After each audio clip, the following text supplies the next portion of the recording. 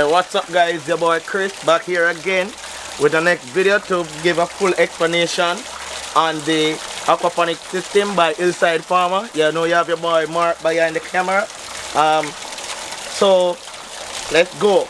Alright, if you take a look over there, you realize that I have a blue drum with pipe um, all protruding from it.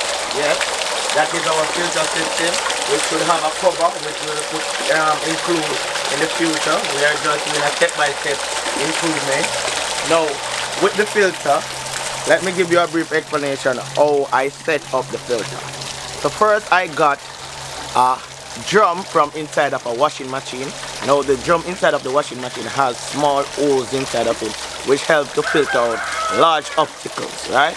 Then in the drum, I put a small mesh inside the rim of the drum of the washing machine. Then I place sponge around and in the center I place gravel, right? So that creates a biological and mechanical filter system which we have here running now for us. It is doing a great job so far. I think that we can improve on it but I'm still feeling it out and see what is taking place. What I did if you look at this system here you see a pipe protruding from the main tool going under our secure plate here. Now it is connected to a pump which is in turn to be connected to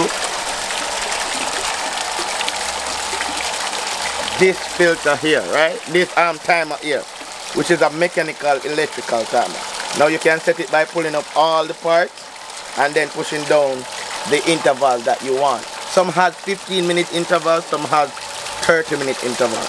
So this turn on the, the, the pump and off the pump every 30 minutes. But you can change the sequence as you feel. For different plants, the sequence of on and off water flow is maybe different. For the sweet pepper, I'm using half hour, right?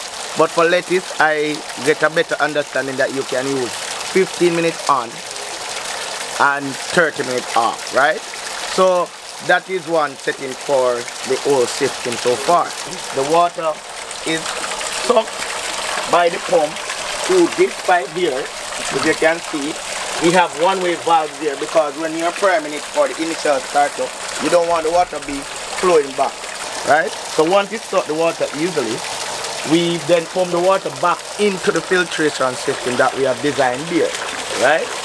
When we pump the water back into the filtration system, if you notice that we have a lock off on it, we can decide how many, decide the flow rate of the water, how many water going at one time in the filter system, right?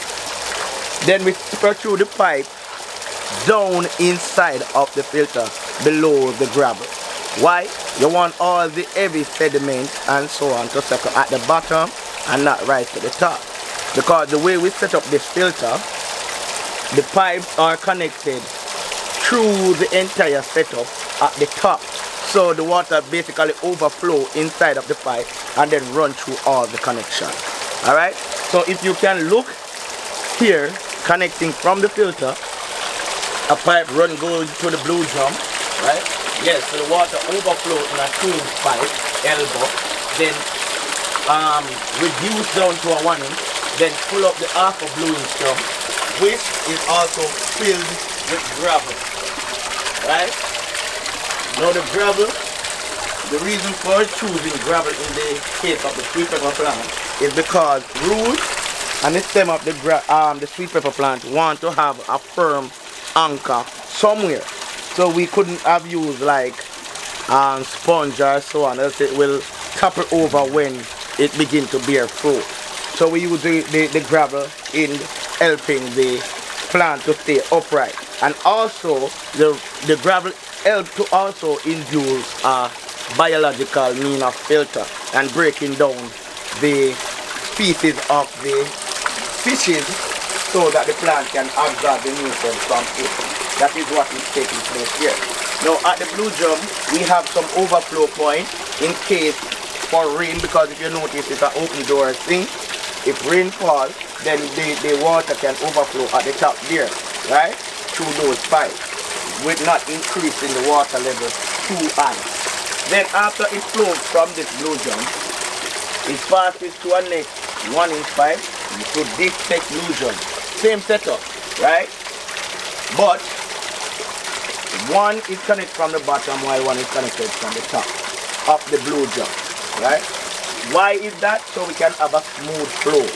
So once the water filled there, it will flow back into here and we create a semi-siphon system. We don't have it running as a bell siphon, we just have it running on a continuous flow because um, I, I actually don't see the need for a bell siphon right now but as we go we'll see if it would be preferable to have a bell siphon in, in, instead of a um, actual just steady flow. Why? Because why is that also?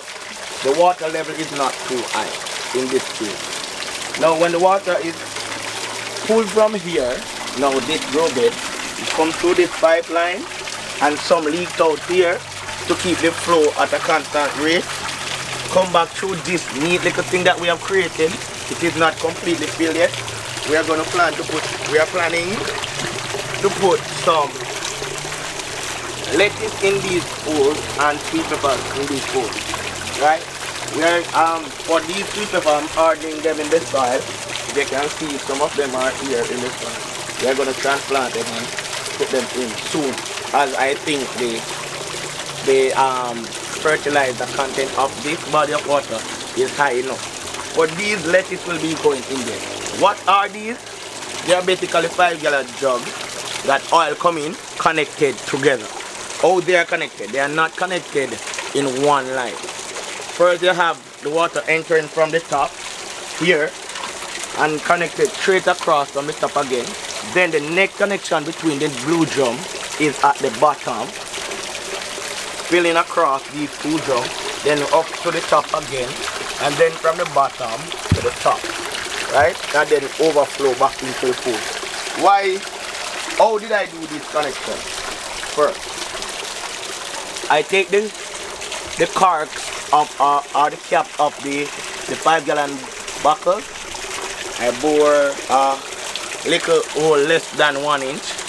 I get a male and female adapter for one inch.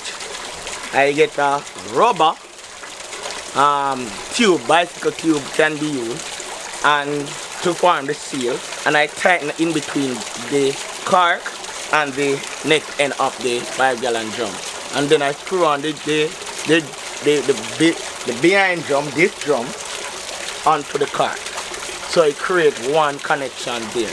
And I continue to do it for 5 drum just to see how we could use um, old things that are not necessarily used again to improve the structure right? As you can see in this pool I have um, mostly domesticated type of fish right? So here we would have koi's angel fish goldfish. Yeah because I'm not really a fan of eating fish so I mostly go with the pet fish in this one.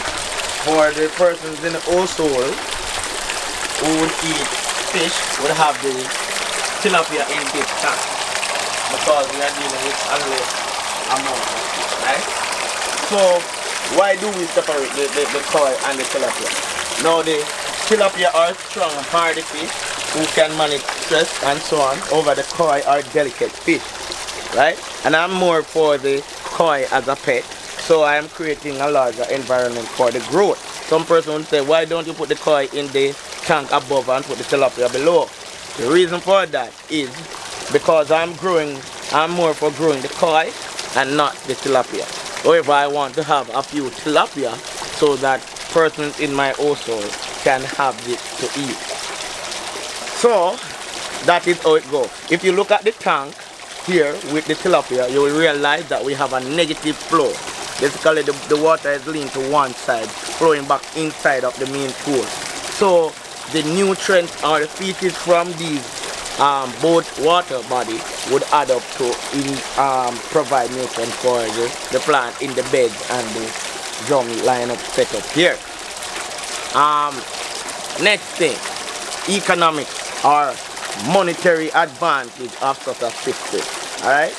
One, if it is properly set up, it will have great yield or greater production yield than compared to if you plant the same amount of crop in the ground. Based on the, the, the, the nutrient content of the plant. That is one. Also, it reduces the cost of fertilizer, right, in um, growing these things. And the next major thing is you are making money from two sides of the system. You're making it from the plant and you can also make it from the animal, which are the fishes, right? So the fish will provide a food source or even for um, entertainment purpose because some person would want pet fish such as goldfish and so on. So if we do a production of the fish, we can sell them back to other persons. Whether it is for eating purpose or for pet purpose. And the plant provide food also which can be sold to other persons. And that is for the setup today. So I am gonna continue updating you on this setup as we improve the design and setup so far. Alright? It's your boy Chris. Like and subscribe, Hillside Farm.